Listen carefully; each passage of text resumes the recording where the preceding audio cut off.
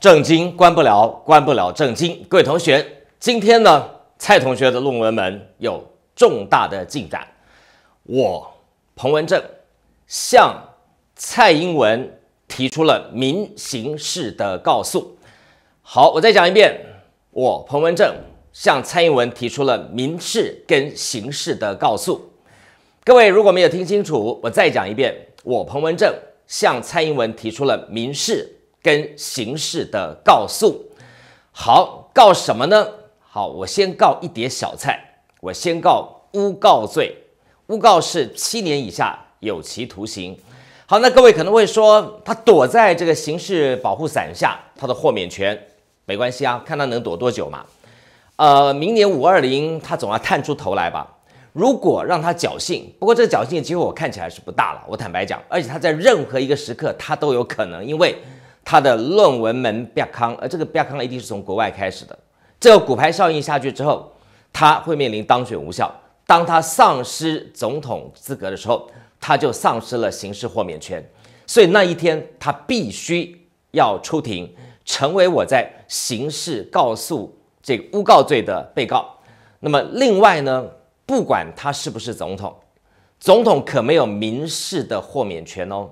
所以按照法院的惯例，在我提出告诉，也就是说从今天开始算，大概一个月到一个半月之间。必须开庭，那个时候我们来看看嘛，看看台湾的法院是民进党开的还是总统府开的。我们来看看王字犯法跟庶民是不是同罪。正常情况下，当你被提起告诉的时候，你在一个月到一个半月之内，你必须首次去开民事庭。所以我们就来看看喽，一个月到一个半月之间，蔡同学会不会去台北地方法院的民事庭出庭？我们来看看。法院会不会传被告蔡同学？好，今天呢是一个值得大书特书的日子。事实上，台北地方法院我的刑事的诬告罪的这个告诉呢已经递状了啊，这个递状的日期呢就在几天前，而民事的告诉状呢已经写完，就在今天、明天之内就会递状。简单的讲，就是民刑事两件齐发啊，已经提出告诉。好，那么这个只是一碟小菜啊！诬告罪是七年以下有期徒刑，只是蔡同学涉案里面的最轻微的吧？恐怕是这样子，没关系，我们先从轻微的开始试起，看看我们的法院到底怎么样来审理这一件跨了三十六年最荒唐的国际瞩目的这个案件。好，我们要来讲蔡同学本身呢，基本上他涉的案子不只是诬告。啊，我们先从呃行政的部分，再谈到刑事民事的部分。至少我认为，公务人员授予法啊，他触犯了，他可能触犯的还包括学位授予法啊。在刑事的部分呢，呃，还牵涉到的包括伪造文书，伪造文书是一年以上七年以下有期徒刑哦。啊，再来呃贪渎啊，贪渎为什么贪渎呢？因为他窃取或侵占公有财物啊，因为他没有那个资格。但是他却去取得公有的财物，这就是侵占或窃取。贪渎是十年以上有期徒刑，或者是无期徒刑。再来，诈欺啊，这个部分可能是加重诈欺罪啊，因为他可能有公务人员的身份，是一年以上七年以下有期徒刑。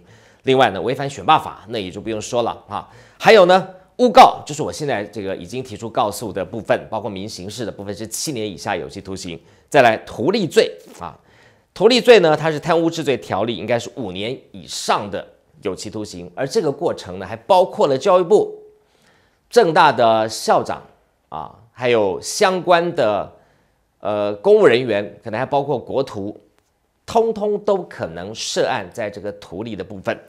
好，今天呢，我要谈的是，其实这个很严肃的心情啊，我告蔡同学，我并没有任何的呃喜悦。而事实上，这只是一个反手的正当的防卫。好，所以呢，我这个灵感哦，我其实是来自于蔡同学的论文。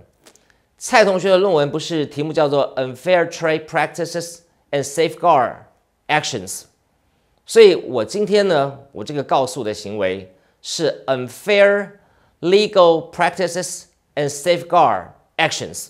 好，这是一个。不公平的司法行为以及它的防卫机制，就是说，今天蔡同学是用一个非常不公平的司法行为强加在我跟林环强跟贺德芬的身上，所以我们就必须要提出防卫机制。好，这个题目不就蔡同学在三十六年前没过的那个论文 proposal 给我带来的灵感吗？好，他不是提出的题目叫做 unfair trade practices，就是不公平的贸易机制。然后呢，and safeguard actions 以及正当防卫机制之类的，所以呢，我就把今天呢我的告诉，我的大灾问，我的大义凛然啊，我的主旨就是 unfair legal practice 啊，unfair legal 呃 practices and safeguard actions 啊，就是不公平的司法行为跟正当的防卫机制。好了。这怎么说呢？因为来，我们来看看年表，大家可能有点忘记了哈。贺德芬、林环强跟我都是蔡同学的刑事被告，告什么呢？告妨害名誉。好，来，我们哪里妨害名誉？好，你自己的所有证物在你身上，你的论文不在啊。你说有学位就有论文，那你没有论文啊？你显然没有一九八三、一九八四的论文，那你哪来的一九八三、一九八四的学位？这么清楚的逻辑。你自己没有办法把证物拿出来，却又封锁了证物，还去告别人，这真是史上最荒唐的笑话！你真的是这个刑事诉讼法于无物，你简直就是拿法庭开玩笑。自己告了别人，证物在自己身上，当别人要来要求证物的时候，你把它封锁，你让你的被告处在一个完全不对等的诉讼情况下去被你告，那你这不是诬告？什么叫做诬告呢？好，我们来看看这整个过程。从八月二十九号开始，你恼羞成怒，所以这个总统府记者会呢，当天傍晚就说要提告贺德芬跟林环强。好，那么九月四号啊，总统府的律师就去按铃申告，告了林环强跟贺德芬。从九月四号呢开始，九月五号北检就说已经分了他字案。好，结果。我从九月五号开始，我就每天呛你，我说我们也在每天的举证，说你的论文学位是假的，你为什么不告呢？你为什么不告呢？我讲了七天之后，你九月十二号你追加告诉了彭文正，所以九月二十二号呢，呃，二零一九年九月十二号是台湾知识分子最光荣的一刻，有三个读书人，林环强、贺德芬、彭文正。同时成为了中华台北总统的刑事妨害名誉的被告，这件事情空前，想必也会绝后。好，那么在了十月四号啊，十月十四号啊，结果有一则新闻说，把我的案子并在了告这个贺德芬跟林环强的案子，也就是追加并案。好，那怎么知道呃我们的案子是确定成立了呢？好，我手上有一张啊，应该是总统府出示的刑事告诉状。好，告诉人蔡英文，其设新北市永和区，巴拉巴拉巴啊。那么居住所台北市中正区，还把这个涂掉了啊，因为是各自吧。告诉代理人连元龙律师、张仁志律师。好，到头来啊，我们还会追究一下你这两位律师。到底呃有没有违反律师法啊？你们这样子的告诉行为，到底呃有没有违反律师的伦理跟准则啊？好，被告贺德芬，被告林环强，还写了一个英文名字 Juan C。好，为被告等涉嫌妨害名誉罪嫌依法告诉事，所以他是刑事告诉状。结果呢，告诉之后，检察官就分案了。分案呢，这个案号很有趣哈，这个案号是一零八年度他字案，他字案的就是说，检察官碰到啊，人家来告诉，那他突然检察官就觉得这个案子看起来怪怪的，告诉的他字案通常是呃告诉的事由不清楚啊，那呃罪状或罪行不太明朗，或者是被告呢不确定对象，所以就用他字号。那这件事情，我坦白讲，三个都不成立了啊！你你告这些呃举证这个确凿的这些学者们，他们有公共评论的义务。你告他在干嘛啊？第二个，你你举证的市政，你自己把它封锁起来了，而且你自己都搞不清楚状况的情况，你告人家什么？哈，要是我是检察官，我当场把你甩掉。好，但是这个检察官可能也是碍于某种呃压力吧，哈，或者是呃某种的这个考量，啊，所以他就把它放在他字案。好，这个暗号太好笑了。各位网友们，听得懂就听懂，听不懂就当做听不懂，就不要问了。好，这个暗号这不是我写的暗号，这刚好分案分到哦，就是蔡英文告贺德芬、林焕强的暗号是一零八年度他字案第九四七八号。第九四七八号，然后再讲一遍，暗号是一零八年度他字案第九四七八号，听不懂不用问，听得懂要笑你就去笑哈，下巴笑掉了我不负责。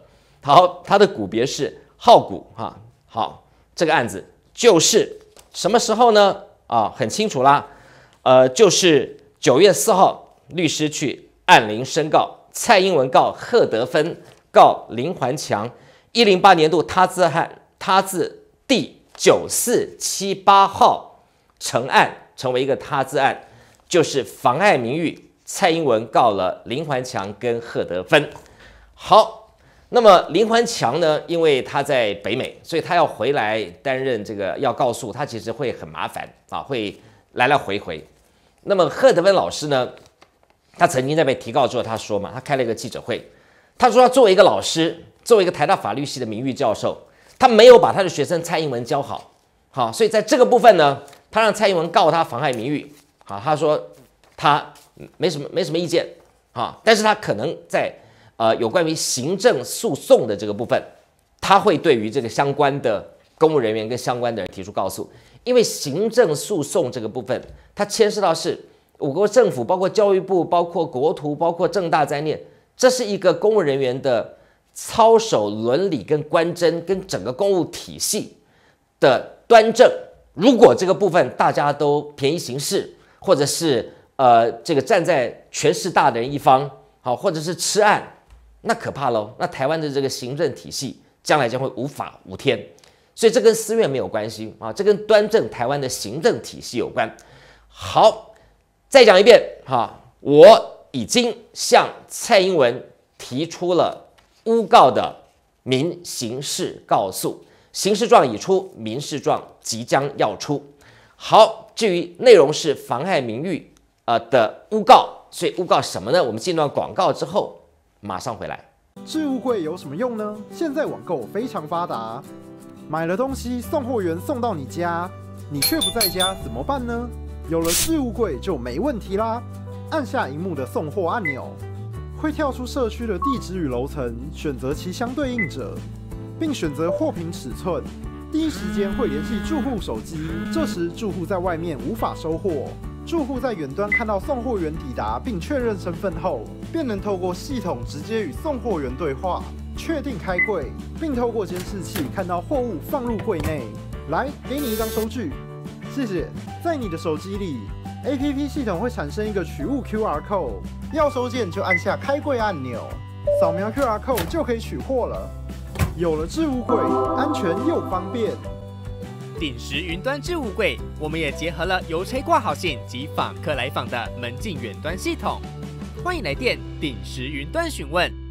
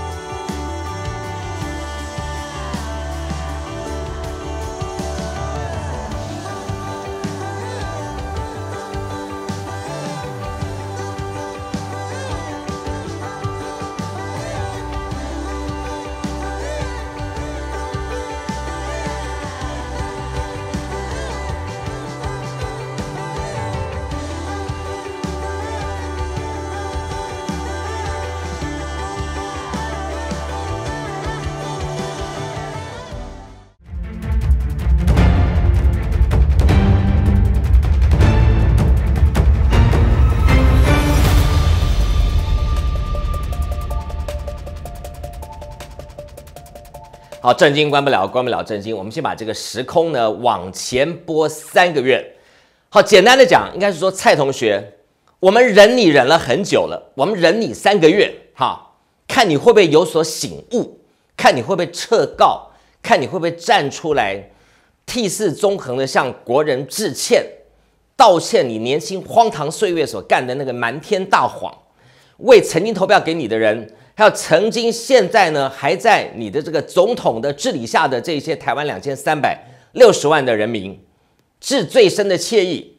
结果你没有，你还告人，告人妨害名誉。经过三个月之后，你还不知悔俊。好，我觉得实在是太可恶了。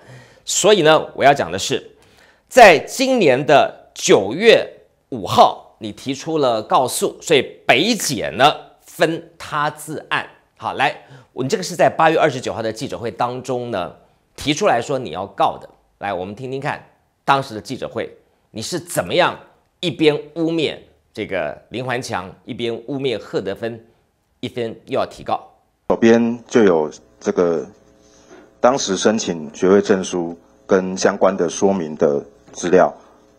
这是二零一五年哦，蔡英文总统申请伦敦政经学院的。这个补发的学位证书上面有伦敦政经学院的钢印哦，所以在二零一五年总统大选的时候有相关争议的时候，这个部分我们也已经跟 LSE 的校方做了完整而且正确而且清楚的这个说明跟相关的文件。既然今天早上呃贺德芬教授在他的记者会当中也有提出，那就由由司法来解决，我们也只好。向相关人士采取法律行动，在备妥相关文件之后提起告诉。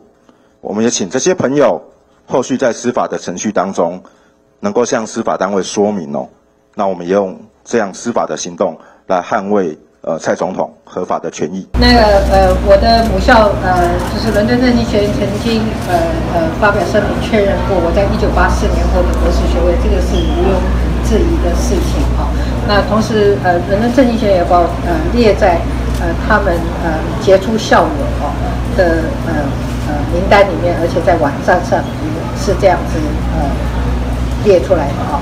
那第二个呢，我这个任教跟任公职，尤其是参与选举这么多次，每一次呃在参与的时候，或者是在任教的时候，都会呃检验我的检查我的学经历嘛哈。那这个已经是做多少次的检验了啊？那绝对不会有问题的啊！所以我不知道为什么贺教授呃还是呃要这样子来质疑啊？那他也说过要司法检验，那我们就呃提告啊，由司法来检验这件事情。好，就在八月二十九号，你呛瞎说要提告，然后你九月四号就去按铃申告，九月五号北检就分他自案。然后我就在节目当中继续说，我说我每天都在讲，我说你有种，你来告我。七天后，为了证明你有种，所以你也告了彭文正。所以九月十二号，二零一九年九月十二号，光荣的一天，三个读书人、知识分子，为了良知，成了中华台北现任总统的被告，这是一个非常大的殊荣。我说这个东西可以刻在墓碑上，哈，这三个读书人为了坚持是就是是，不是就是不是，他们成为了当代的总统的被告，妨害名誉的被告。好，从九月十二号到现在三个月，蔡总统，你告人告了三个月，你没有一点点的悔悟吗？啊，你没有任何的呃一点点的。良心不安吗？那对不起，我忍你三个月了。于是我要提出诬告，告你蔡同学诬告。好，为什么是诬告呢？来，我们把这个所有的内容，今天我的告诉民事的起诉状，啊，我逐字的念给大家听。刑事的部分跟民事的部分有若干相似之处啊，但是我想我就先念民事的起诉状。其他的虽然这个刑事起诉状是是可以调阅的，它是公开的啊，但是我想没什么太大的差别啊，我就来先提一点民事起诉状的部分。原告彭文正助同诉讼代理人啊，那我就是说我把诉讼代理人就是我我的律师。我讲到律师，我要特别感谢啊，感谢李振华律师啊，愿意担任这个案子的诉讼代理人。坦白讲啊，碰到这个案子，很多人都不敢接啊，我必须这么说。很多人呢，你给他再多的钱，他也不敢接。好，那李振华律师是是带着友情的这样子的成分啊，来接下这个案子。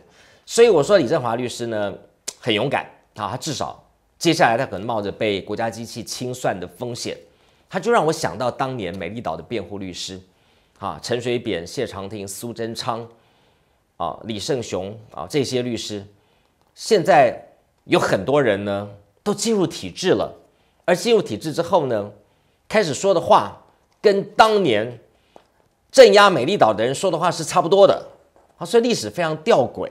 啊，我很庆幸，我感谢上帝一路保守我，让我没有因为有了权势而交换了灵魂，出卖了自己。这也是我为什么一直跟权势保持距离的原因，因为我不敢讲我自己是不是，我没有把握我是不是自己可以清高到有一天，当我掌握了极大的权势的时候，我仍然能够像现在这样子的单纯坚持理想。我不敢讲。因为我看了圣经的启示录，最后的晚餐，耶稣的十二个门徒跟耶稣亲嘴的亲嘴，拥抱的拥抱，夫子，我绝对不会背叛你，夫子，我们追随你。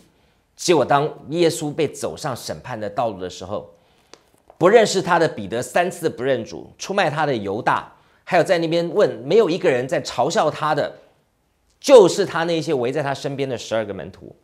所以我对人性，包括对我自己在内。我其实没有那么大的把握，啊，从圣经上面也可以看得出来，呃，但是我我我基于我对自己没有那么大的把握，所以我就尽量让自己呢远离权势，保有我的赤子之心。所以一路以来，当官的机会，不分区立委的排名前几名，还有许许多多的利诱威胁，我都尽量的尽量的抗拒，做到。威武不能屈，贫贱不能移，富贵不能淫。好，我我只能说我尽量，我没那么伟大啊，所以我要远离权势，我要远离诱惑，因为我担心我也会成为那些我瞧不起的人。好，那些瞧不起的人就包括了蔡英文、陈菊之流。好，好，所以我要讲的是，今天这个呃民事的起诉状，那我们就往下念了哈。被告蔡英文啊，没错。就是躲在总统府刑事豁免权的那个蔡同学，但是抱歉，你的民事的部分你没有豁免权。我要看看我们的法院是不是总统府开的。好，再来，为确认被告博士论文不存在事件，依法起诉是事诉之声明。第一个，确认被告一九八四年的英国伦敦政经学院博士论文不存在。第二个，诉讼费用由被告负担。好那么事实跟理由呢，如下啊。第一个程序部分啊，按确认之诉，非原告有即受确认判决之法律效力者，不得提起。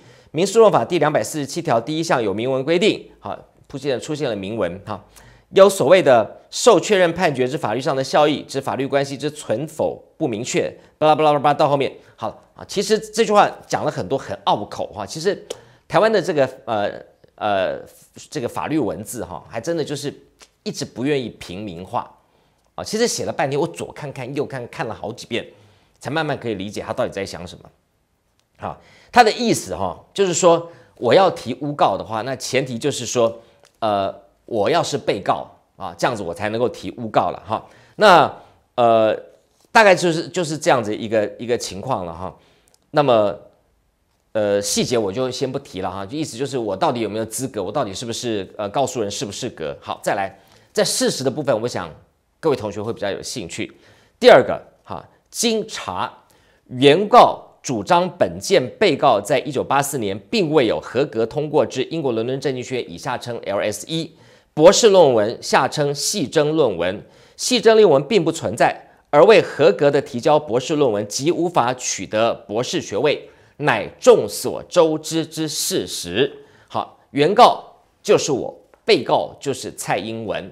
我主张的是，如果没有办法提出合格的博士论文，也就没有办法证明，没有办法取得这个被告就没有办法取得他的博士学位，这是众所周知的事情，没有错吧？你没有博士论文，你何来的博士学位？好，我们就拿被告蔡英文的话，自己来证明他自己的犯罪。好，蔡英文就曾经说过这么一段话，来，我们来看看论文跟这个证书之间的博士证书之间的关系。我们来看看蔡同学自己说过的这段话：学位是真的，假不了啊，有学位就是一定有论文啊，所以这个也假不了啊。那我也希望就是说。选战打的是我们的政策，打的是我们的价值，哈，那不是是呃无中生有，或者是呃或者叫做抹黑吧，这样也不好了。蔡同学说，有学位就一定有论文。好，接下来呢，我们就不上法律课啊，我们也不上呃新闻课跟什么公平正义课，我们来上一个大一的理哲学，就是逻辑哈。若 A 则 B，非 A 则非 B，是非这个这个呃好基本逻辑，我们来上个逻辑课。好，蔡同学说什么？如果有学位就一定有论文，他刚刚是这样讲吗？有学位就一定有论文，没错吧？所以呢，有学位就一定有论文，论文是学位的什么条件？举手。论文是学位的必要条件，这样对吧？而且论文是学位的必要非充分条件，对吧？它是论文是学位的必要条件，但论文不是学位的充分条件，这样对吧？已经昏头的人可以去喝杯水洗把脸。充分条件的意思就是说，你光有论文，你不一定拿得到学位。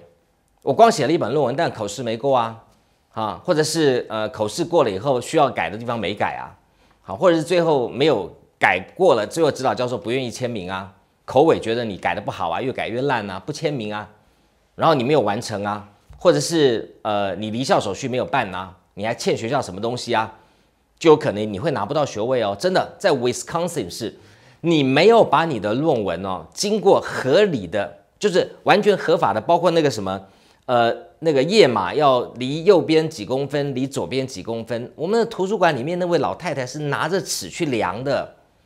她没有签字哈，你不要毕业了，你就被她折磨着回去，一直弄，一直弄，弄到过为止。为什么？那本要收藏啊！人家 Wisconsin 是这么的严谨，我不相信你 LSE 是野鸡大学，我真的不相信呐。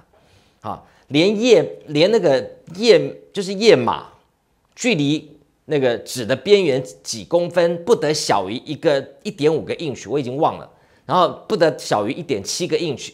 它就是在一个很小的范围内，你一定要在那个范围内，所以这是这么严谨啊。Wisconsin 我不敢讲它是什么什么世界十十大，至少是至少世界呃前二十名、三十名的名校啊，排名应该不会输 LSE 了哈。那 LSE 这样的学校，难道会容忍什么漏页啦、立可白啦、错字四百四十四个、页码不连续？你你相信吗？好了。我们回到刚刚逻辑的问题，蔡同学说有学位就一定有论文，意思是说这个大家都知道，论文是学位的必要条件，而非充分条件。意思就是说，光有论文不一定能够有学位，但是没有论文一定不会有学位。这样听懂了吗？啊，意思就是说，既然是必要条件，既然论文是学位的必要条件，必要的就是非要不可。那意思就是说，没有论文就一定不可能有学位，这样懂了吧？所以蔡同学自己在公开场合中接住的这个逻辑，有论文啊，有学位就一定有论文的这个逻辑，就直接推翻掉了他这整个被告的案子，他就已经败诉了。为什么？因为他拿不出一九八三、一九八四的论文，就证明了他一九八三、一九八四没有拿到学位嘛。就这么简单，他自己嘴巴讲的，有学位就一定有论文，那意思就是说，论文是学位的必要条件。既然是必要条件，就是非要不可，没有就不行。所以答案就是，如果你没有论文，你就没有学位。好，就这么简单。那你那个 infer 拉 infer 说，你看那个 this is book 什么大英图书馆也收录了，拍谁哦？二零一九年 personal copy 哦，好，那就算那那就算那是论文好不好？二零一九年的论文可以让你拿到一九八四年的学位吗？各位再想一想，你二零一九年产出一本论文可以让你拿到一九八四的学位吗？所以证明什么？你一九八四没有学位嘛？我们今天细争的事实是你一九八三、一九八四没有学位，我没有说你一二零一九没有学位哦。如果蔡同学这个好学不倦，这些年来默默的把论文写完，而且二零一九年跟这个英国伦敦政治学院完成了一个 deal，然后透过视讯去考试，所以二零一九年取得博士学位，那我也没意见。虽然很荒唐，但是逻辑上通。可是逻辑不通的是，你不可能拿二零一九年的一本，就算你是论文，不可能拿二零一九年产出的论文去取得一九八三年或一九八四年的学位。这样讲没错吧？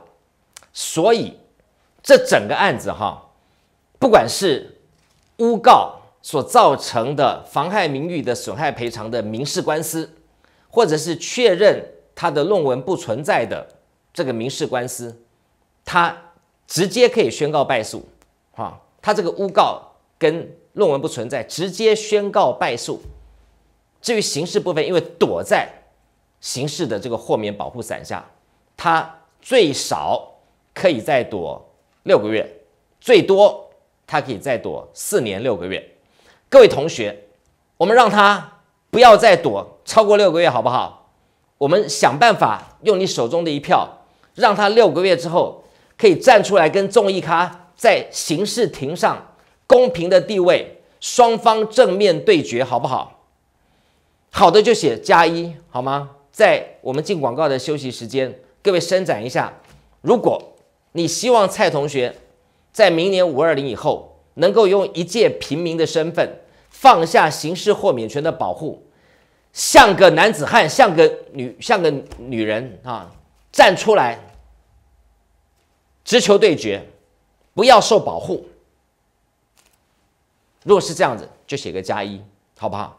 做一个守法的公民啊，像一个堂堂正正的公民，就是你要告人。你就承担责任，不要躲在刑事后豁免权后面，不要把所有的证物封存。大家来个直球对决，可以吗？这段广告马上回来。置物柜有什么用呢？现在网购非常发达，买了东西送货员送到你家，你却不在家怎么办呢？有了置物柜就没问题啦！按下荧幕的送货按钮，会跳出社区的地址与楼层，选择其相对应者，并选择货品尺寸。第一时间会联系住户手机，这时住户在外面无法收货。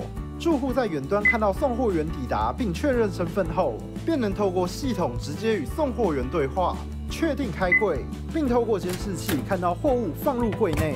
来，给你一张收据，谢谢。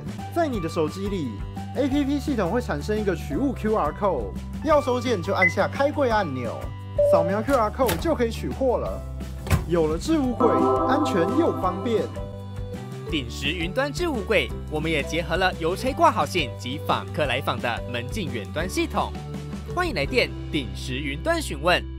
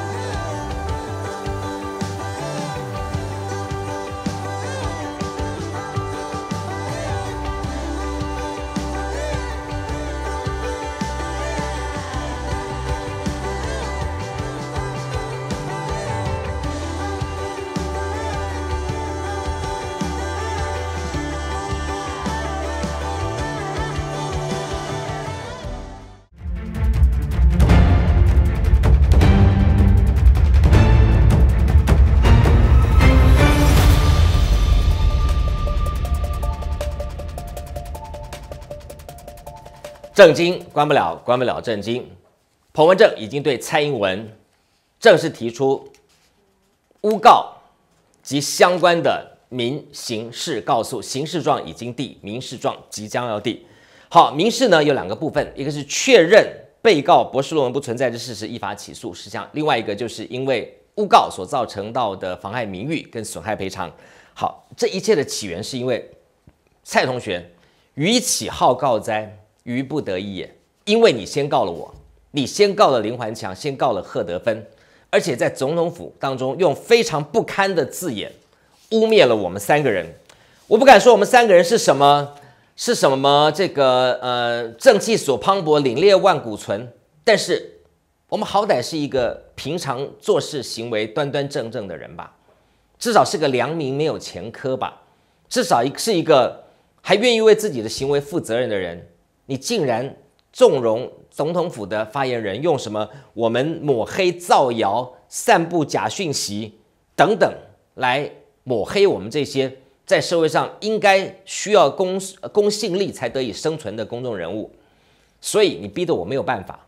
好，那我们的有所本就是我们被告啦，暗号在这里啊，检察官给我们啦，暗号一零八年度他字号第九四七八号。好，这不知道是天意还是什么，说你告我们。妨害名誉的这个号码是九四七八，九四七八号，这不是我造的，好，这也不是呃偷到 gin 哎，就刚好分案就分到我们就是那个暗号，好，就是一个个排下来，这个暗号就是九四七八，好，那么呃，因为我们被告了嘛，这是我们的正当防御嘛，因为从你的论文得到灵感呢，叫做 unfair legal practices and safeguard actions。这是一个不公平的法律行为，那我们就要有一个正当的防卫机制啊，这样可以吗？好，所以我们就告了刑事的部分。那当然，你躲在你的保护伞下啊，你的诬告七年以下有期徒刑，你早晚要面对。好，另外呢，你的民事部分，因为诬告造成的妨害名誉造成的损害赔偿，以及我们要去确认你博士论文不存在的这几个事实，我们也提出了民事的告诉。好，这个民事告诉状呢，我再把重点再往下好。另外呢，你刚才讲的很有道理啊，没有论文就没有学位，因为你说有学位就有论文，所以论文是学位的必要条件。那既然是必要条件呢，没有了就不行，所以没有论文就没有学位。好，再来呢，原告因此批评被告，原告就是我，这个这个呃呃民事部分的原告是我，原告就是我，彭文正因此批评。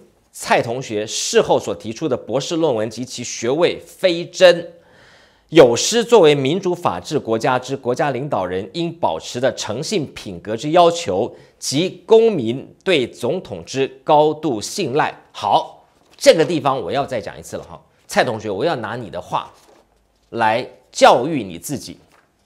当年马英九嘴巴上说要告民进党，这最后在他卸任之后。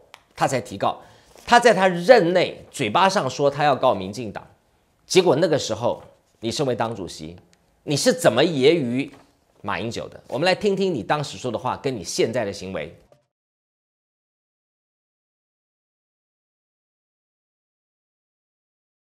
那呃，做一个总统，如果他觉得有些事情他要讲清楚，其实他可以讲清楚啊。那嗯。他呃不需要说要以一个诉讼呃来证明什么事情，好，以一个诉讼呃来证明什么事情，好，以一个诉讼呃来证明什么事情，好。做一个总统最重要的就是说，当呃人民对他所做的事情有质疑的时候，他必须要负责任的把它讲清楚，好，而不是用呃呃诉讼的行动。呃，来作为说明的一种方法，我觉得做总统的应该不是这样证明自己，嗯，想要证明的事情吧。所以重点是在于他有没有诚意要说明真实的情况。重点是在于他有没有诚意要说明真实的情况。重点是在于他有没有诚意要说明真实的情况。震惊关不了，关不了震惊。来，我们来看看哈，这个民事起诉状上面还继续写说，被告则除否认原告主张外，哈，我我新来的被告原告我就用名字好了哈。蔡同学除了否认彭文正的主张之外，竟一再圆谎，谎称系争论文存在，公然指责彭文正、林环强跟贺德芬抹黑、造谣、散布假消息。请问，现在要请问，不管是法院国民党开、民进党开的，或者是法院是公平的，当有一个人，就不要先不要讲他是什么呃教授，就一个平民被别人指责抹黑，被别人指责造谣，被别人指责散布假新闻，他的名誉有没有受损？今天有人说我抹黑、造谣、散布假新闻，有没有妨害我的名誉？如果有的话，我就告你妨害名誉，这样可以吗？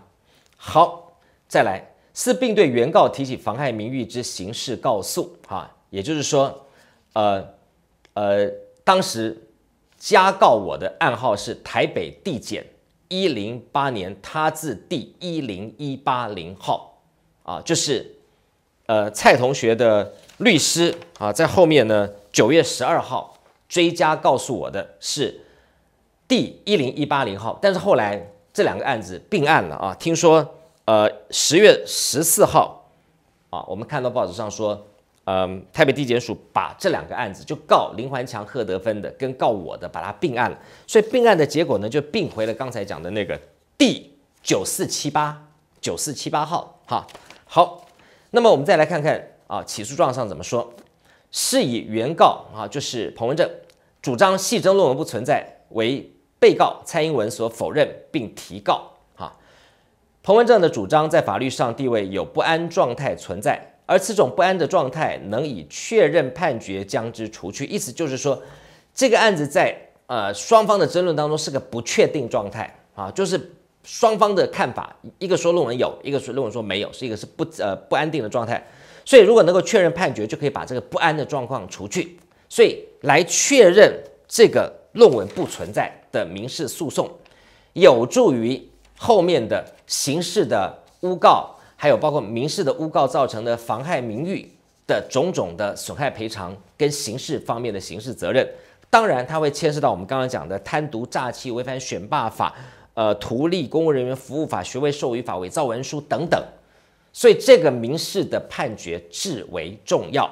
好，我们再来看看，嗯，所以呢，这个判决书上写说，啊，这个起诉书上写说，起诉状说，依上引法律判例要旨，原告提起本件攸关原告是否妨碍被告名誉之人格权的法律关系之基础事实存在与否之确认之诉，自由法律上之确认利益何先续明。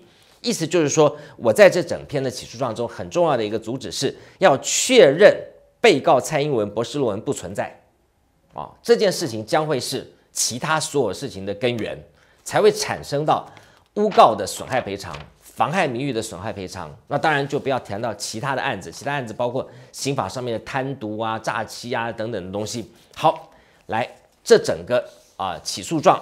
啊，民事起诉状的第二个事实证据跟理由是这样讲的：第一个，国内外均不存在被告蔡英文一九八四年合格版本之博士论文。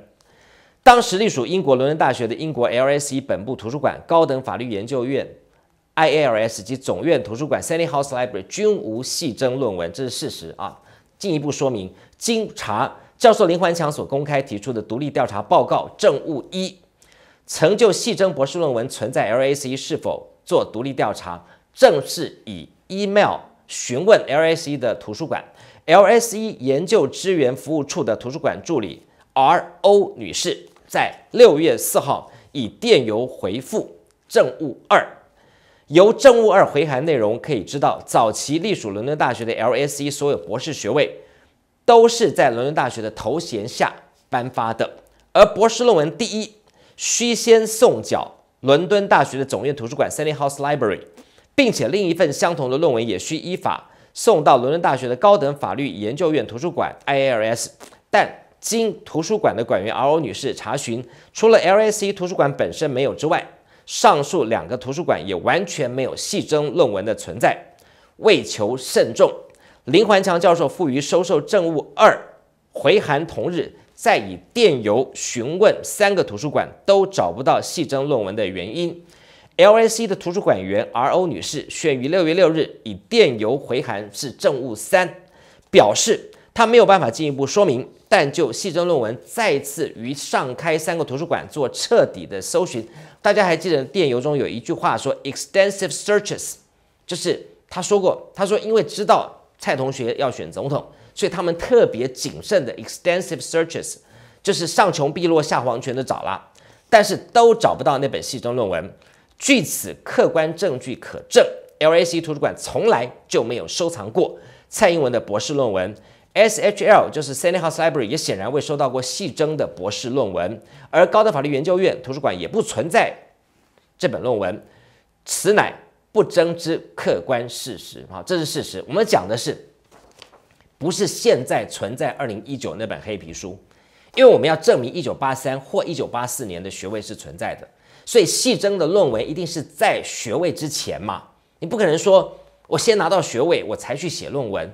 所以细征论文是指一九八三或一九八四，要看被告蔡同学他在法庭上怎么主张，他到底哪一天毕业？因为他到底哪一天毕业，讲法七八种。好，那先要问蔡同学，你哪一天毕业的？你告诉我。好，那我们我们现在细征的论文指的就是你毕业那一天以前写完的论文才是论文呢。二零一九，This is a book。二零一九的这个论文不能够让你取得一九八四的学位，这个很清楚嘛？好，那么他说这些东西不存在，是不容争议的客观事实。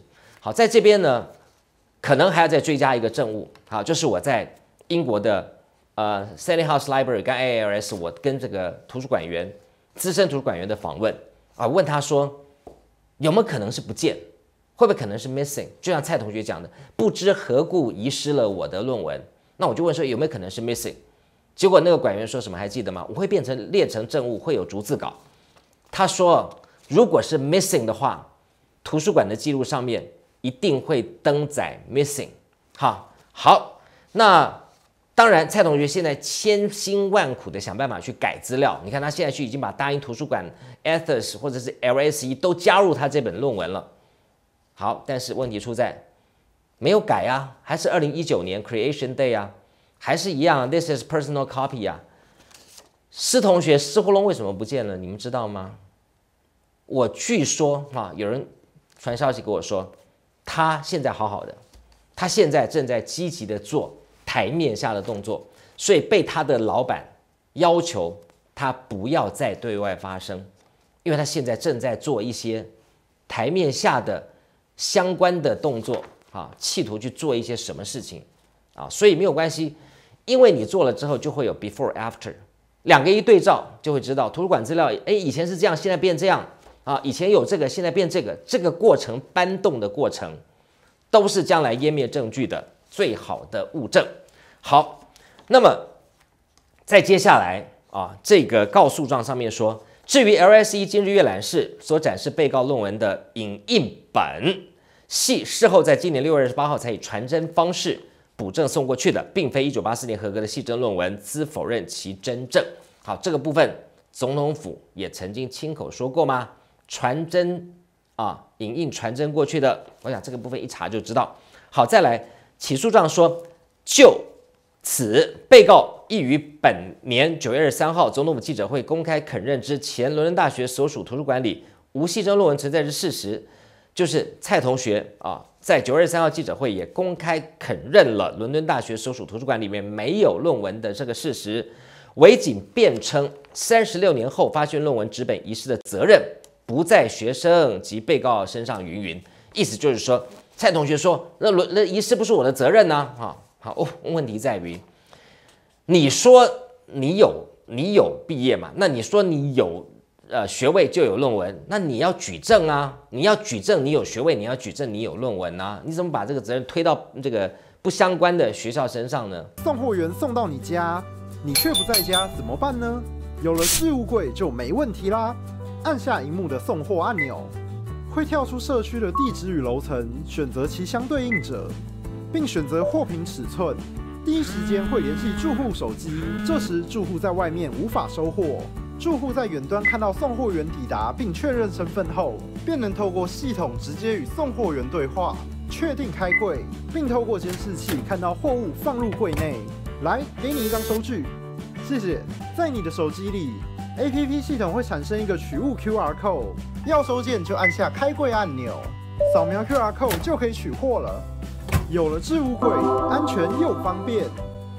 鼎石云端置物柜，我们也结合了邮差挂号信及访客来访的门禁远端系统。欢迎来电鼎石云端询问。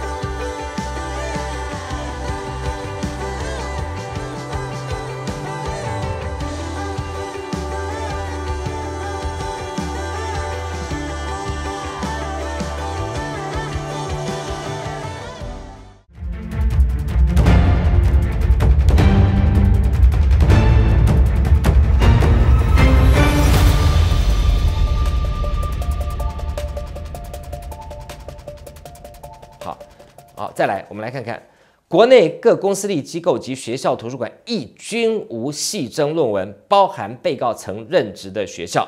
好，这个就扯了，对吧？经查，国内包含这个被告所做出任职的国立大学、政治大学或转任的中东吴大学，均查无系争论文存在于各该学校图书馆，甚至连教育部亦未有系争论文，甚至连审查被告升任副教授后退回系争论文前为存档所拍摄之系争论文封面照片亦不存在。除此之外，全台湾各公私立机构及大专院校亦至今未发现系争论文存在，据此足证系争论文不存在。好，再来，就此被告亦不否认全国台湾各公私立机构及大专院校均未有系争论文存在之事实。这个呃告诉状写的客气了哈，基本上应该写说，在二零一九年六月二十八号之前，全世界、全宇宙，包括了宇宙大爆炸前跟宇宙大爆炸后的火星、土星、木星、天王星、海王星、冥王星，通通都不存在蔡同学的一九八三、一九八四年的论文啊。这个论文第一次被拼凑出来是在二零一九年的六月二十八号。就这么简单啊，也不要那么斯文，说什么国内公司立大学都没有，啊，在银河系中都未曾出现过。好，再来第二个，原告彭文正亲自至英国 LSE 高等 IALS 跟呃 SHL Sydney House Library 查证，均无系争论文存在之证据。好，那么被告指导之硕士生学位论文，从一九八三年开始，超过五十四个硕士均无人。在内文中引用，在参考书目列举过细争论文，好，所以那些 liar 英粉什么台教会去嗯消遣陈学圣，你根本就是张飞打岳飞。如果你们是路人甲，我就不嘲笑你们，你们是教授，你们帮帮忙。陈学圣引用的是他正大法学评论，我们从来没有说过正大法学评论不存在啊。正大法学评论上面的蔡同学的论文，我们从来没有说他不存在，只有说过他可能还不是博士，就说自己是博士；还没有是副教授，就说自己是副教授，吹牛、伪造文书。我们并没有说他的正大法学评论不存在啊。而陈学生引用的是蔡同学在正大法学评论上面的文章，没有人可能引用蔡同学的论文，连他的指导学生在一九八三、一九八四当年都没有引用他。那后面的人怎么可以引用？一个指导过的学生，所有五十四个人都没有人引用过老师的论文。读过书的、写过论文的人知道，这可能吗？写论文第一件拍马屁，先去把老师的著作先看清楚。你要这个老师指导你，你他的著作你不把先看清楚，那你他下次问你，你你要往哪里躲？而且写过论文都知道，有边没边一定要扯上边。老师的论文多少要引两句，给老师一点面子吧，对不对？不然的话，别人会说，那你找这个老师跟你不相干呢？他只是毕生的研究当中没有半句话可以让你相信，没有半句话可以让你作为你的学士累积的基础，证明什么？要么你这个老师跟你不相关，你老师念电机，你念新闻，啊，要么就是你的老师在这个法律的领域当中，他根本毫无创建。没有一句话值得被引用，不管是前者后者，你既打脸了老师，你也打脸了你自己嘛。你找了一个老师莫名其妙，这五十四个学生就证明了蔡英文跟这五十四个学生中间的师生关系是莫名其妙，因为这五十四个学生没有一个人从一九八三到现在没有一个人引用过蔡同学的论文。好，我要讲的是，如果真的有一个人引用了蔡同学的论文，我还真的要小心他是不是姑娘庙跑出来的。因为一九八三、一九八四这本论文在宇宙银河系中是不存在的，你不存在，你怎么引用嘛？所以没有人引用是正常的。好，告诉状的最后一段，被告自己事后投稿升等的文章竟然也未曾引用，列举过细征论文。自己蔡同学，你这一生写的文章很少了，看起来真的是以你的这一生的。这个呃学术生涯来讲，你真的你的论文是贫瘠的可怜呐。好，然后也没看到你写什么一本像样的书啦，好，或者是教科书啦，最简单的教科书，通常一般来讲大家觉得比较没学问的教科书也没有，专书也没有，那你你在干什么啦？好，这都放旁边不讲，你连你自己的文章都不曾引用过你在英国伦敦政经学院的博士论文。证明什么？学界的人都听得懂了。证明你在博士的阶段期间研究的东西毫无心得，毫不值得参考。不然，所有人在他的这一生的论文当中，都会不断的去引述当年他在校园里面做的一些研究跟发现。所以，你做的事情是完全违反学术界的常理。不要讲常理啦。连一点基本的 A、B、C 都没有办法符合，所以台湾教授协会、北美台湾人教授协会、全世界全星球的宇宙教师协会，你们自己摸着你们的良心吧。这本论文是存在的吗？所以这整个案情的最后就回到了蔡同学自己总讲过的一句话：有学位就一定有论文。这句话的意思就是，论文是学位的必要条件。必要条件的意思就是说，如果没有，就不会有那个结果。总结就是，没有论文就不会有博士学位。这整个案子，法官你根本就不用劳神了啦，直接就判了。这么简单的事实就呈现在眼前。好，警状。台湾台北地方法院民事庭公件证物一：教授林环强独立调查报告，蔡英文博士论文与证书的真伪一份。二、教授林环强电邮询问韩籍 LSE 支援服务处图书馆助理 RO 女士，在六月四号电邮回函各一纸。证物三：LSE 的 RO 女士在六月六号电邮回函一纸。证物四。本年九月二十三号总统府记者会论文公开说明档结本遗址附件一委任状正本遗址附件二裁判费三千元邮政汇票遗址具状人彭文正诉讼代理人李振华律师。这件事情只是一碟小菜，这一切都是刚刚开始。这个民事告诉我一定会申请损害赔偿，我也不会。去管你被告蔡同学有没有 financial difficulties，我要你付出惨痛的代价，因为你作为一个中华台北的总统，你太不像话。我再讲一遍，你自己心知肚明，你有没有论文，你有没有学位？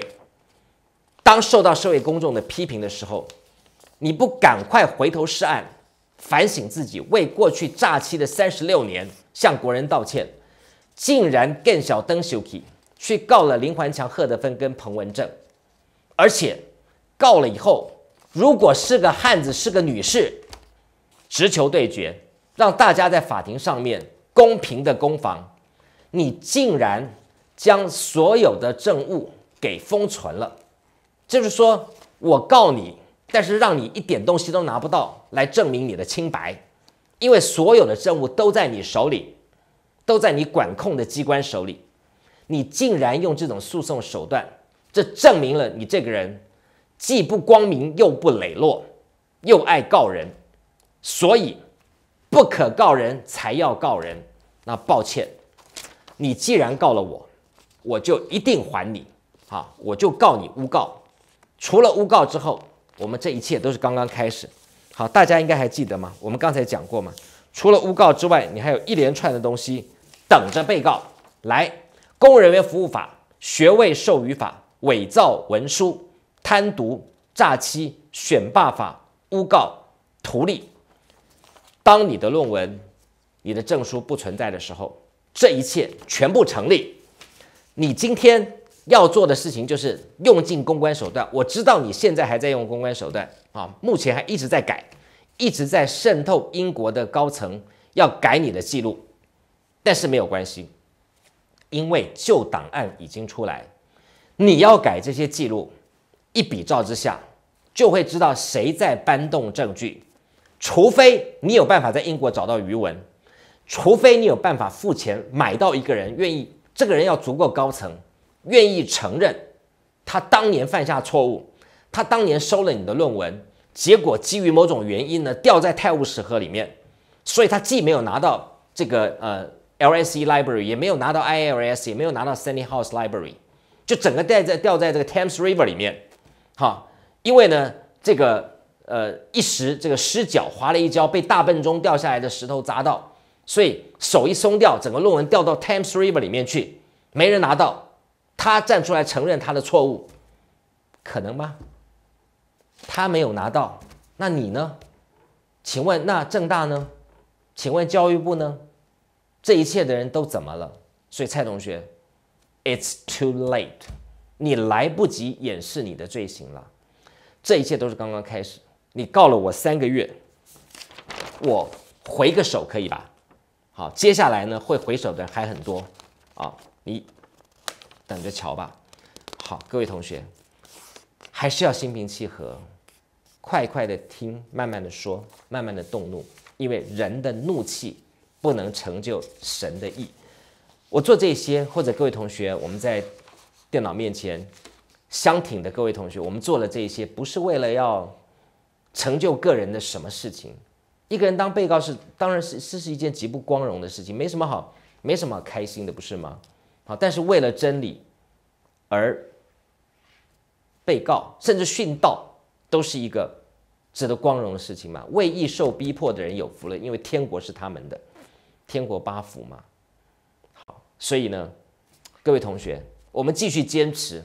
好，我相信我们继续行公义、好怜悯，但是要记得要存谦卑的心，而且要快快的听，慢慢的说，慢慢的动怒，因为人的怒气不能成就神的意。让这件事情交给上帝，但交给上帝的同时，在我们的人间，我们要把它交给司法。我们相信司法是公正的，而且我们会穷其所有的力量，让司法必须公正。等到开庭的时候，我会通知各位同学，如果各位愿意去观赏，或者是去啊呃这个亲自参与啊观察一个台湾民主重要的时刻，欢迎参与。好，那么晚安。大家可以把今天这个重要的时刻，今天的这个重要时刻是十二月四号啊。当然，一个案子刑事已经提告，民事呃容后补状，所以这两个案子我们就抓一个中间点吧，十二月四号，把它当成是一个我们对抗强权的一个光荣的日子，彼此互勉，在你的行事历上记下二零一九十二月四号这一天，我们的光荣的去征战巨人。啊大卫跟歌利亚的故事，我相信很快的会在我们的人世间得到公道。晚安，祝大家平安。